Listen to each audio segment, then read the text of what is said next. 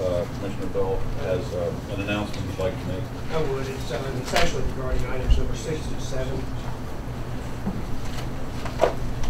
And, uh, uh, it- it's come up, and it's nothing, uh, that I'm concerned about, but I've done business with Avivo, the maker or the distributor, or whatever they are, of these membranes.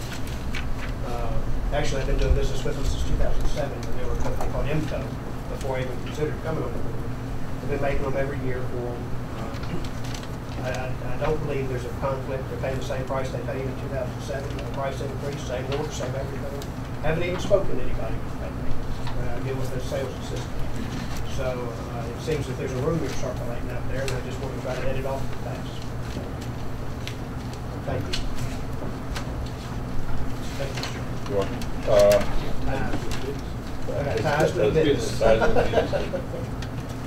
Uh, And I do sell ties if anybody wants to buy them. Might as well get a plug in while I'm bidding. Ties, custom woven ties. Yes, sir. you You have to want to look pretty though. You can use them as membranes if you want to. You're advertising them. Okay, um, did you have something to say, Brian? No. Okay.